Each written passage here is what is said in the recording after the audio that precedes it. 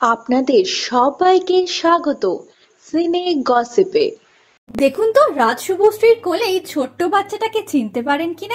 রাজ চক্রবর্তী জানালেন তাদের পরিবারে এলো নতুন সদস্য। তবে বন্ধুরা, আপনাদের জানিয়ে দিই, এই ছোট্ট বেবিটা আমাদের সকলের প্রিয় ইউবানি। হ্যাঁ বন্ধুরা, ছোট্ট ইউবানের মাথার চুল পুরো ন্যাড়া করে দিয়েছেন রাজ শুভশ্রী।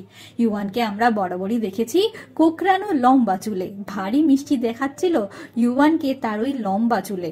নিজের চুলকে হারিয়ে কিন্তু ইউবান বেশ চিন্তিত। কখনো দেখা যাচ্ছে আয়নার সামনে নিজেকে ভালো করে দেখছে, আবার কখনো ন্যাড়া মাথায় হাত বোলাচ্ছে খেলতে খেলতে ইউবান। তবে হঠাৎ কেন এই কাণ্ডটা করলেন রাজ শুভশ্রী? বন্ধুরা, আপনাদের জানিয়ে দিই, ছোট্ট ইউবান এখন আঠেরো মাসের হয়ে গিয়েছে। আর ঠিক সেই কারণেই আঠেরো মাসে ন্যাড়া করে দিলেন রাজ শুভশ্রী তাদের ছেলেকে।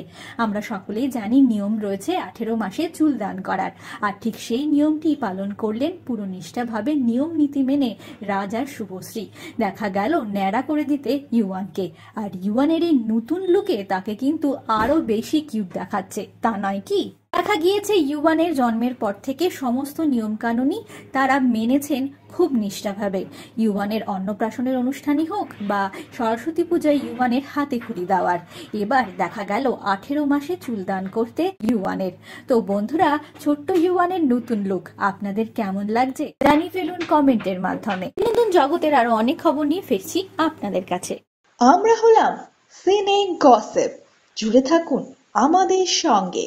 সাবস্ক্রাইব করুন আমাদের এই ইউটিউব চ্যানেলটি।